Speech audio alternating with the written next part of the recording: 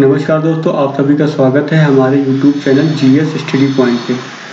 आज हम environment science की जो टेस्ट सीरीज़ की क्लास को कंटिन्यू करते हैं और आज हम देखेंगे टेस्ट नंबर 11 ठीक है? तो आपके लिए टेस्ट करना ज़रूरी क्यों होता है? क्योंकि आप जितनी ज़्यादा यहाँ पे प्रैक्टिस करेंगे, उतना ही फ़ायदा आपको एग्ज़ाम हॉल के अंदर मिलने वाला है, ठीक है? तो हम ये देख लेते हैं। और इससे पहले अगर आपने हमारे जो है इन्वायरमेंट साइंस के लेक्चर अगर नहीं देखे हैं तो पहले जाके वो देखें ताकि आपकी जो समझ है टॉपिक के बारे में वो विकसित होगी, ठीक है? उसके बाद ही आप क्वेश्चन को करने में सक्षम हो पाएँगे, ठीक है? तो आज का हमारा जो पहला क्वेश्चन है, पहला क्वेश्चन ये कह रहा है कि निम्न में से कौन जलवायु परिवर्तन के खगोलीय सिद्धांतों से संबंधित नहीं है? यहाँ पर पूछा है, जो आप एक खगोलीय सिद्धांत हैं जलवायु परिवर्तन से संबंधित ठीक है? ये सिद्धांत किसने दिए थे? एक रशियन विद्वान है, मिलान कोविच। आगे हम देखेंगे उनके नाम को। तो उन्होंने ही ये दिए थे। तो हम, ये हमको बताना है इसमें कि कौन सा सिद्धांत उन्होंने नहीं दिया था। तो पहला ऑप्शन क्या दे रखा है आपका? पहला ऑप्शन दे रखा है पृथ्वी की कक्षा की उत्केंद्रता। यानी इसका मतलब क्या हुआ? जो यानी कि पृथ्वी की कक्षा कैसे होती है? अंडाकार कच्छी मार्ग के रूप में वो चलती है। ठीक है? यानी कि आपका मान लो अगर ये सन हो गया और सन के आसपास वो पृथ्वी घूमती है तो अंडाकार आकार में वो घूमती है। ठीक है? ये कह रहा है वो। अगला क्या कह रहा है आपका है? पृथ्वी के घूर्णन अक्ष का झुकाव। यानी जो हमको पता है जो पृथ्वी जो है, वो क्या अपने अक्ष पे झुकी हुई है ना? आपको पता होगा, मान लो अगर पृथ्वी आपकी, ये अक्ष हो गया उसका, और ये आपकी हो गई पृथ्वी।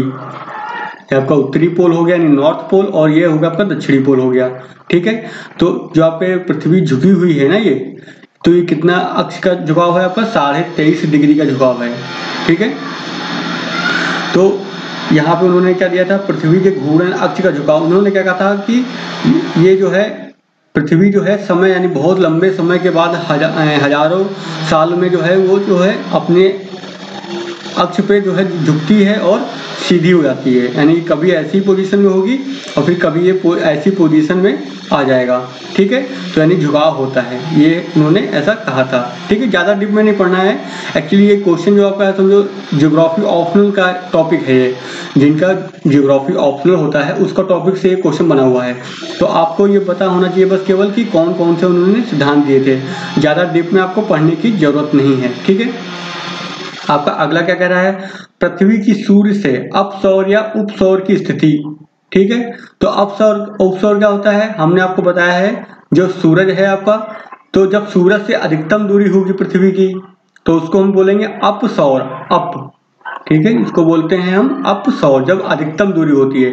अब जब क्या होता है? पृथ्वी सूर्य से सबसे नज़दीक होती है तो उसको हम बोलेंगे उपसौर।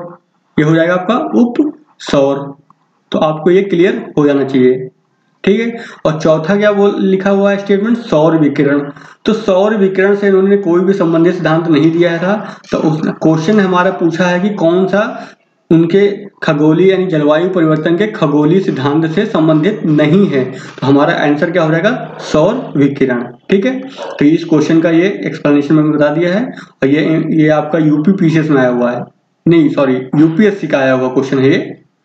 और मेरे ख्याल से एक बार यूपी पीसीएस भी पूछ चुका है। तो दोबारा भी इसके आने की संभावना है, ठीक है? थोड़ा क्वेश्चन जो है टफ है, इसलिए पूछा जा सकता है दोबारा।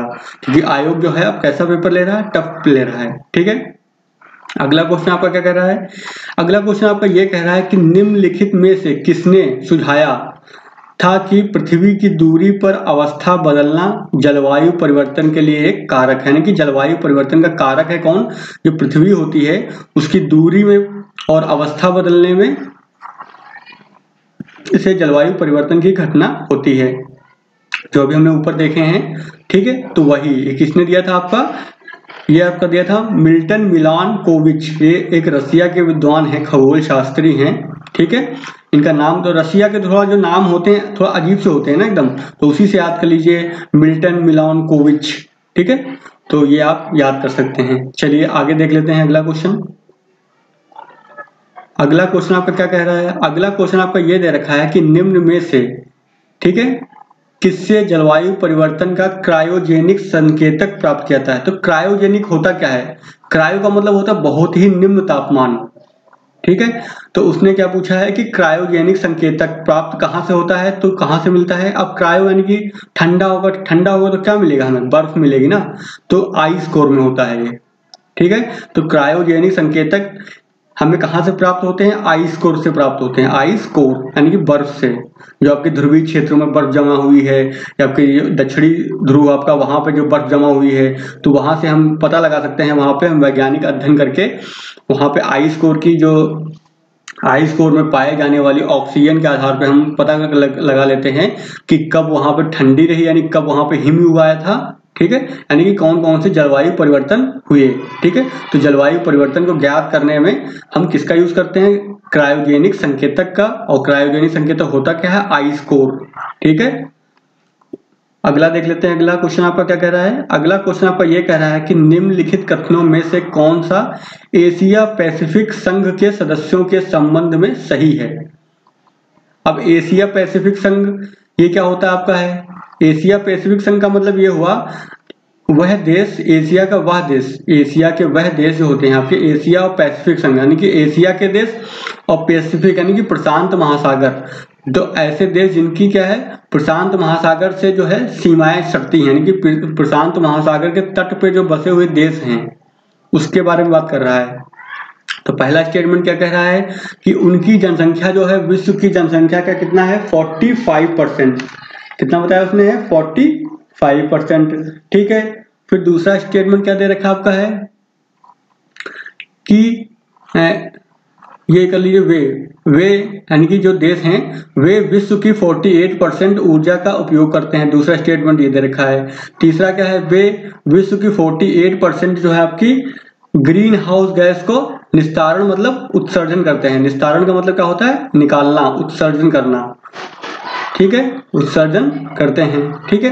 के लिए उत्तरदायी है। चौथा क्या? वह क्योटो प्रोटोकॉल का समर्थन देना चाहते हैं। यानी कि ये देश जो है, क्या करते हैं? क्योटो प्रोटोकॉल का समर्थन करते हैं। तो हमको क्या कहना है कि कौन सा सही उत्तर चुनिए?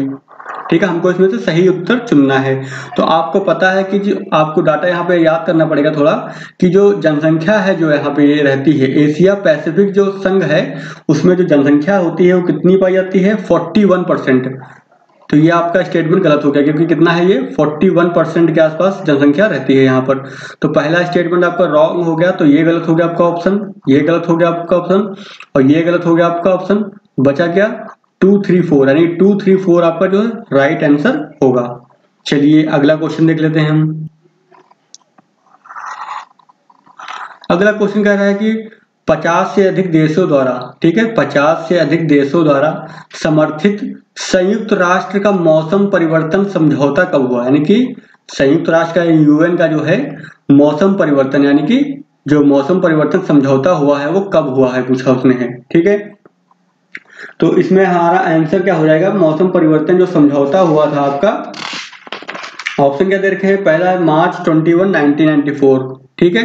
तो यहाँ पे डेट हमको याद करनी पड़ेगी कि मार्च 1921 यानी कि 21 मार्च को आपको हुआ था ये 1994 में।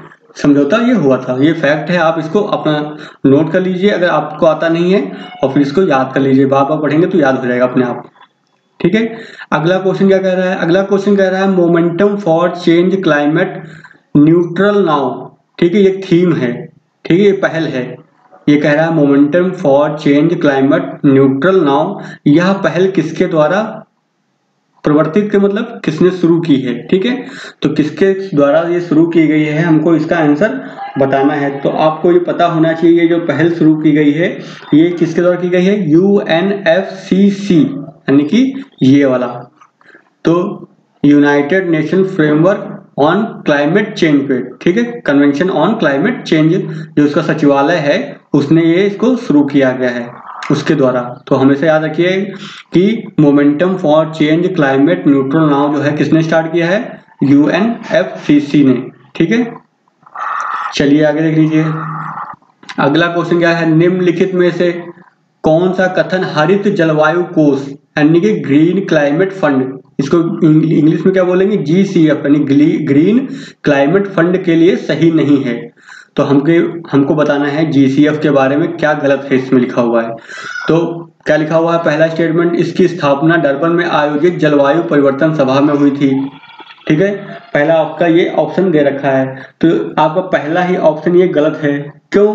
क्योंकि इसकी स्थापना 2010 में की गई थी कानकुन सम्मेलन में, ठीक है? कानकुन जो आपका एक शहर है, कहाँ है? मैक्सिको में है, ठीक है? तो वहाँ पे इसका किया गया था ये। तो पहला ही आपका ऑप्शन गलत हो गया, ये आपका कानकुन होना चाहिए था, ठीक है? इसकी स्थापना कानकुन में हुई थी। बाकी के स्टेटमेंट आपके सही हैं तो आपका राइट आंसर क्या हो जाएगा? ये पहला, ठीक है? चलिए अगला देख लेते हैं। अगला क्या आपका दे रखा है? अगला दे रखा है हरित जलवायु निधि, यानी कि अभी जो हमने ऊपर देखा है ग्रीन क्लाइमेट फंड यानी जीसीएफ के बारे में कौन सा कथन सही है? हमको ये बताना है कि निम्नलिखित में से जो कथन दे रखे हैं जीसीएफ के बारे में, उसमें कौन सा कथन जो है सही है? तो अब देख लेते हैं, पहला स्टेटमेंट क्या कह रहा है? पहला स्टेटमेंट ये दे रखा है, यह विकासशील देशों का जलवायु परिवर्तन का सामना करने हेतु अनुकूलन, यानी कि उसको अडॉप्ट कर लेना। और न्यूनीकरण, यानी कि उसके प्रभाव को कम करना। किसके प्रभाव को? जलवायु परिवर्तन के प्रभाव को कम करना। पद्धतियों में सहायता देने के आशय से बनी है। ठीक है, यानी जीसीएफ का गठन क्यों किया गया? जीसीएफ का गठन इसलिए किया गया, जो गरीब देश हैं, विकासशील देश हैं, जैसे भारत हो गया, चाइना हो गए ये क्या है? गरीब देश हैं। ठीक है, अन्य जो अफ्रीका के देश हो गए, विकासशील देश है ना ये। ठीक है तो ऐसे अगर देश जो होंगे तो क्या अगर मान लो जलवायु परिवर्तन होगा तो क्या सबसे ज़्यादा प्रभाव तो इन पे ही पड़ेगा ना। अमेरिका है वो इतना ज़्यादा विकसित देश है वो तो जलवायु परिवर्तन का सामना कर लेगा लेकिन भारत जैसे गरीब देश और इतनी जनसंख्या है यहाँ पर तो वो देश सम, सामना नहीं कर पाएँगे ना इस चीज़ को। तो अब ऐसे देशों यानी विकासशील देशों को क्या जलवायु परिवर्तन के प्रभाव से बचाने के लिए यानी कि उनके प्रभाव को कम करने के लिए जो सहायता दी जाएगी इसके लिए जो है जीसीएफ का गठन किया गया था ठीक है? अगला क्या है? इसे U N E P O E C D Asia विकास बैंक और विश्व बैंक के तत्वाधान में स्थापित किया गया है। तो दूसरा स्टेटमेंट ये बोला गया है। तो ये दू, दूसरा स्टेटमेंट गलत है। क्यों? क्योंकि जीसीएफ का गठन किस, किसके द्वारा किया गया? U N F triple C यानी कि अभी हमने ऊपर देखा था। इसके द्वारा जो है जीसीएफ का गठन किया गया है। तो बहुत ही महत्वपूर्ण ये आपका संगठन होता है। ये क्लाइमेट चेंज के लिए जो है काफ़ी कार्य कर रहा है, ठीक है? तो हमेशा आप याद रखेंगे U N F C C के बारे में, ठीक है? इसके जो महत्वपूर्ण जो कार्य हैं, वो देखेंगे हम, ठीक है? चलिए आगे देख लेते हैं अगला। तो इसमें हमारा आंसर क्या हो जाएगा? ओनली वन इज़ राइट तो केवल एक हमारा आंसर हो जाएगा, ठीक है? उसने पूछा था कि कौन सा आंसर सही है, कूट। तो पहला कूट हमारा सही है। चलिए अगला देख लेते हैं हम। अगला क्या आपका क्वेश्चन कह रहा है? पृथ्वी काल के संदर्भ में। अब हिंदी देख लीजिए, यहाँ पे कितनी खतरनाक दे रखी है। पृथ्वी काल, आपने तो कभी सुना ही नहीं होगा, लेकिन सब लोगों ने सुना होगा अर्थ आवर के बारे में। ठीक है? तो वही है ये अर्थ आवर। इसीलिए अपने आप को थोड़ा इंग्लिश के लिए तैयार रखें अपने आप को, ठीक है? ताकि आप क्वेश्चंस को करने में सक्षम हो। इसको क्या बोलेंगे? Earth hour. आपने सुना होगा कि साल में एक दिन मनाया जाता है अर्थ आवर। ठीक है? तो उसके बारे में कथन दे रखे हैं। हमको पता करना है कि कौन से कथन सही हैं। तो पहला क्वेश्चन क्या दे रखा है? यह यूएनईपी तथा यूनेस्को का उपक्रमण है। कहने का मतलब यह है यूनेप और यूनेस्को को द्वारा चलाया जाता है ये। पहला स्टेटमेंट ये होगा। दूसरा क्या कह रहा है? यह एक आंदोलन है जिसमें प्रतिभागी यानी जो पार्टिसिपेट करते हैं प्रतिवर्ष एक निश्चित दिन में, एक पर्टिकुलर डे में एक घंटे के लिए जो है बिजली ऑफ़ कर देते हैं। ठीक है? अगला क्या दे रखा है? यह जलवायु परिवर्तन और पृथ्वी को बचाने की आवश्यकता के बारे में जागरूकता लाने का आंदोलन है। यानी कि लोगों को अवेयरनेस के लिए ये चलाया जाता है। किसके लिए?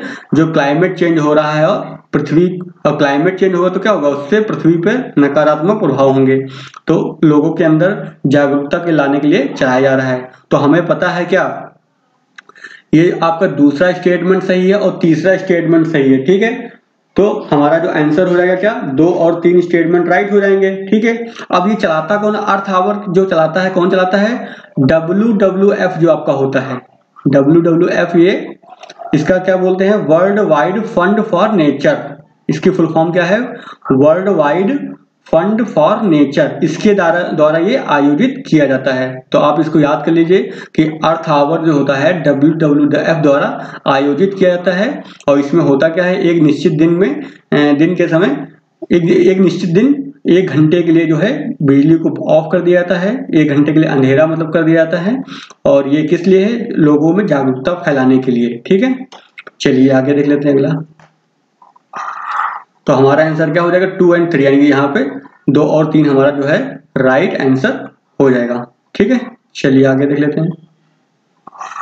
अगला क्वेश्चन क्या कह रहा है? मैनचेस्टर विश्वविद्यालय के वैज्ञानिकों ने, जो मैनचेस्टर यानी कि आपका मैनचेस्टर विश्वविद्यालय है, ठीक है?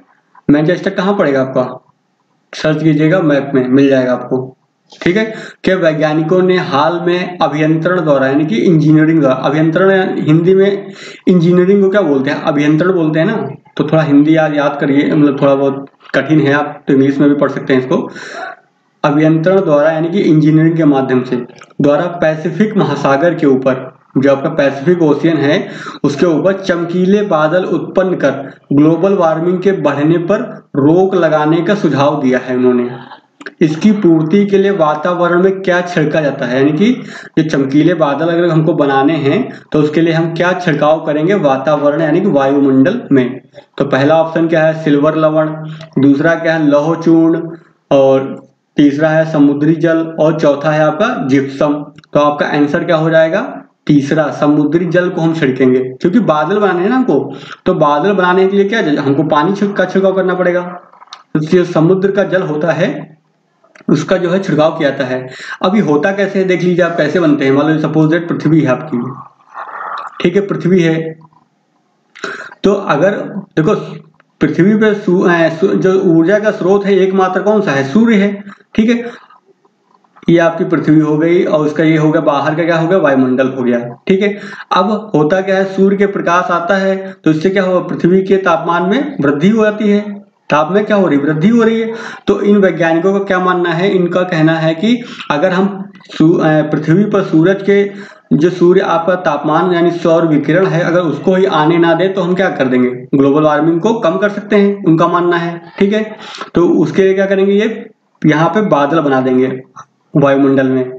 अगर वायु, वायुमंडल में बादल होगा तो यहाँ से जो सूर्य का प्रकाश आएगा और यहीं से टकरा के वापस रिफ्लेक्ट हो जाएगा अंतरिक्ष में। ठीक है?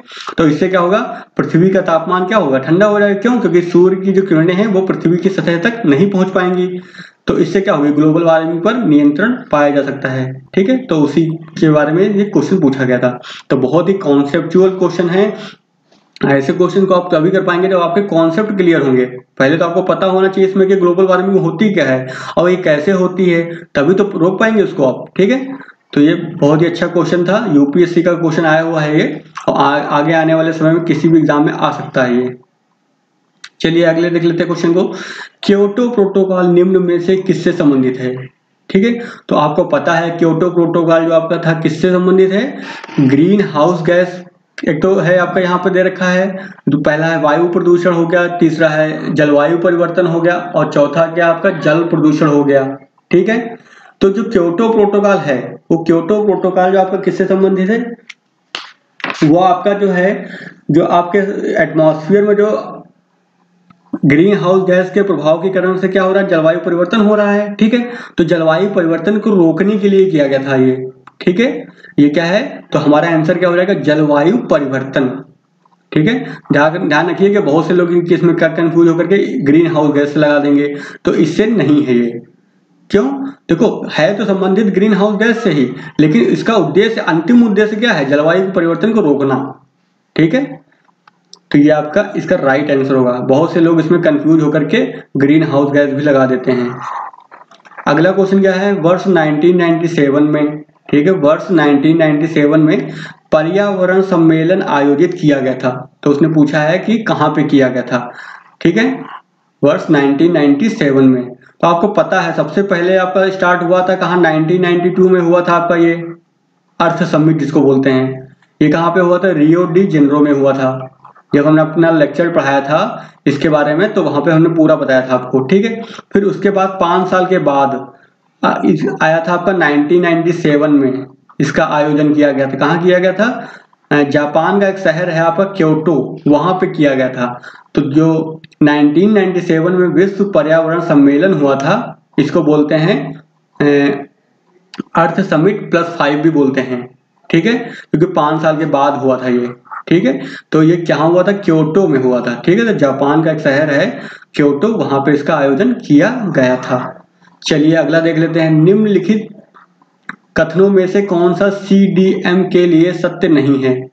ठीक है?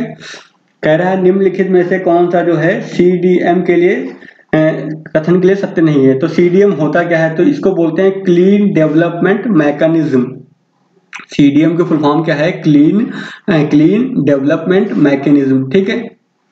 तो हमको बताना है कि कौन सा इसमें गलत स्टेटमेंट है। तो आपका हमको देखना है, पहला स्टेटमेंट क्या दे रखा है? यह हरित ग्रह। ठीक है? यह आपका क्या है? यह हरित ग्रह के उत्सर्जन को नियंत्रित करता है। ठीक है? दूसरा स्टेटमेंट क्या दे रखा है इसमें? यह ग्लोबी तापीकरण को कम करता है। ग्लोबी तापीकरण का मतलब ग्लोबल वार्मिंग को कम करना। ठीक है? तीसरा क्या आपका है? क्योटो प्रोटोकॉल ने इसका सतत विकास के आकलन के लिए सुझाव दिया है। ठीक है? तो तीसरा आपका ये हो गया कि सतत विकास के आकलन के लिए इसका सुझाव दिया था वहाँ पर। ठीक है? फिर अगला देख लेते हैं स्टेटमेंट क्या दे रखा है। अगला आपका स्टेटमेंट यह दे रखा है, यह विकसित देशों को विकासशील देशों की परियोजनाओं में पूंजी लगाने का निषेध करता है। तो ये तो हो ही नहीं सकता कभी भी। ऐसा कोई थोड़ा समिट बनेगा जो कहेगा कि विकासशील देशों को में जो परियोजनाएँ चल रही हैं, उसको विकसित देश फंडिंग यानी पैसे देने बंद कर दें। तो आपका पूछा था कौन सा गलत है तो यही आपका आंसर गलत हो गया, ठीक है? तो आपका आंसर क्या हो जाएगा? फोर ठीक है? उसने पूछा था कि कौन सा स्टेटमेंट गलत है तो ये स्टेटमेंट आपका गलत है, ठीक है? बहुत ही आसान क्वेश्चन था। कुछ क्वेश्चन ऐसे होते हैं जो ऑप्शन को देख के लग जाते हैं। अगला क्वेश्चन क्या कह रहा है? अगला क्वेश्चन आपको ये कह रहा है कि ग्रीन हाउस गैस प्रोटोकॉल क्या है? ग्रीन हाउस गैस प्रोटोकॉल क्या है? तो पहला स्टेटमेंट क्या दे रखा है? यह सरकार एवं व्यवसाय को नेतृत्व देने वाले व्यक्तियों के लिए ग्रीन हाउस गैस उत्सर्जन को समझने, परिमाण निर्धारित करने एवं प्रबंधन हेतु तो अंतरराष्ट्रीय लेखककरण साधन है। ठीक है? दूसरा स्टेटमेंट क्या दे रखा है ये? अगला क्वेश्चन ये कह रहा है स्टेटमेंट दे रखा है, यह ग्रीन हाउस गैस उत्सर्जन, ठीक है? यह ग्रीन हाउस गैस उत्सर्जन को कम करने और परितंत्र अनुकूल ई प्रौद्योगिकियों को अपनाने हेतु विकासशील देशों को वित्तीय, विकासशील देशों को वित्तीय प्रोत्साहन प्रदान करने की संयुक्त राष्ट्र की एक पहल है। दूसरा स्टेटमेंट हो गया। तीसरा स्टेटमेंट क्या दे रखा है? यह वर्ष 2022 तक ग्रीन हाउस गैस उत्सर्जन को एक विनिर्दिष्ट स्तर तक कम करने हेतु संयुक्त राष्ट्र के सभी सदस्यों द्वारा अनुसमर्थित एवं अंत सरकारी समझौता है। और चौथा स्टेटमेंट है, यह विश्व बैंक द्वारा पोषित बहुपक्षीय R E D D plus पहलों में से एक है। तो हमारा उसने पूछा था कि जो ग्रीन हाउस प्रोटोकॉल क्या है? तो ग्रीन हाउस आपका जो प्रोटोकॉल होता है, वो क्या होता है आपका? है ये। पहला वाला ऑप्शन ही राइट है आपका। यह क्या है? सरकार एवं व्यवसाय को नेतृत्व देने वाले व्यक्तियों के लिए जो ग्रीन हाउस गैस उत्सर्जन को समझने, यानी कितना उत्सर्जन हो रहा है और उसका परिमाण, यानी कितनी मात्रा में हो रहा है, निर्धारित करने ठीक है, निर्धारित करेगा कितना हो रहा है और उसके प्रबंधन हेतु, यानी कैसे इसको प्रबंधित किया जा सकता है, यानी कैसे हम उत्सर्जन को कम कर सकें। इसके लिए एक अंतरराष्ट्रीय लेखाकरण साधन है। तो आपका, ये आपका आंसर हो जाएगा। ये भी ये है यूपीएससी का क्वेश्चन है, इसलिए आपको ये थोड़ा टफ लगेगा, ठीक है? क्योंकि तो यूपीएससी में ऐसे ही हाई लेवल के क्वेश्चन वहाँ पे पूछे जाते हैं। अगला क्वेश्चन आपका क्या कह रहा है? अगला क्वेश्चन आपका यह कह रहा है कि निम्नलिखित कथनों पर विचार कीजिए। Kyoto protocol. सन 2005 से प्रभावी हुआ। तो आपको पता है, हमने अभी बताया है क्या? क्योटो प्रोटोकॉल के बारे में हमने बताया था, ठीक है? तो ये जो आया के बाद 1997 में आया था क्योटो प्रोटोकॉल, ठीक है?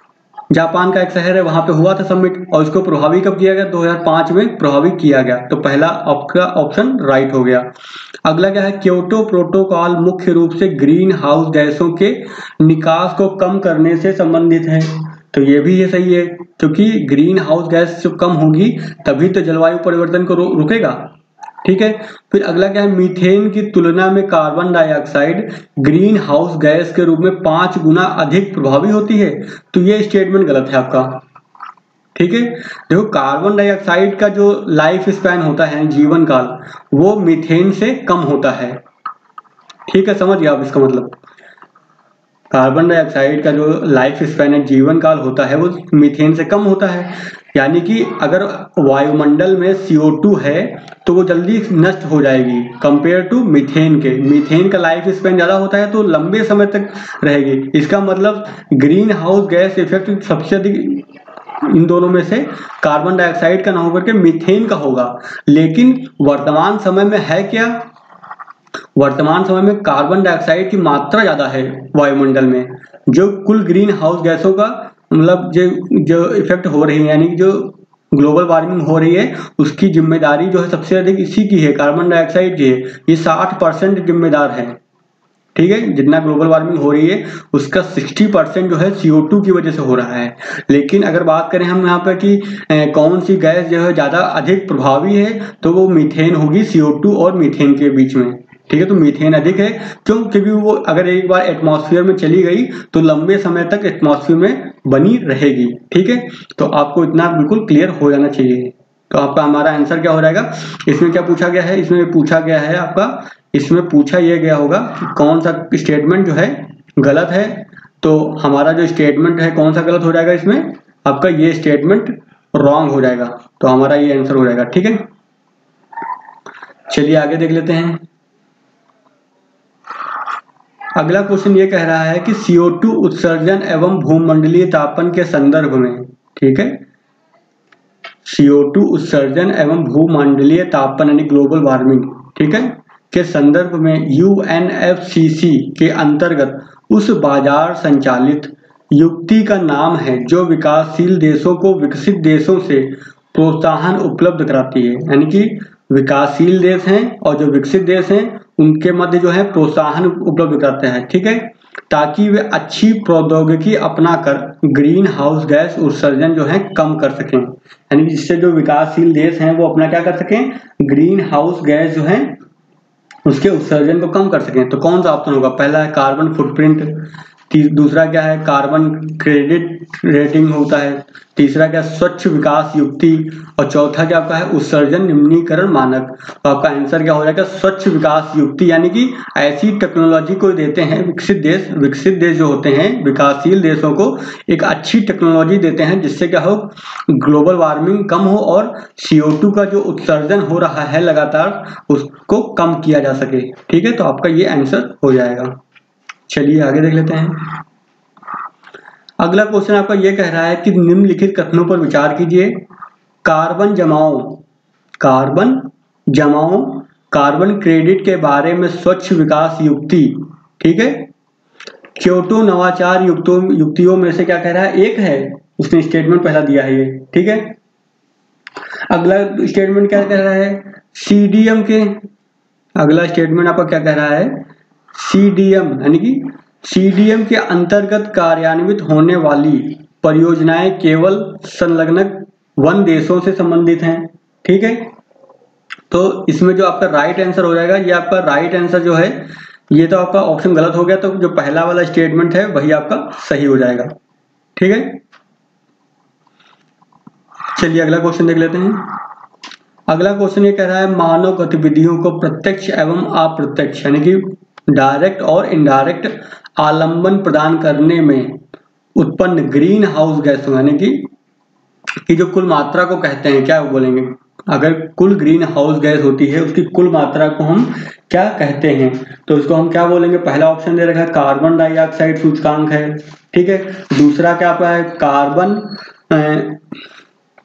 पद चिन्ह बोलते हैं दूसरा, ठीक है? इसको इंग्लिश में क्या बोलेंगे? कार्बन फुट प्रिंट ठीक है? कार्बन फुटप्रिंट दूसरे वाले को। इसको बोलते हैं कार्बन फुटप्रिंट और तीसरा क्या आपका? कार्बन पृथककरण, यानी कि कार्बन पृथककरण बोलते हैं तीसरे वाले को।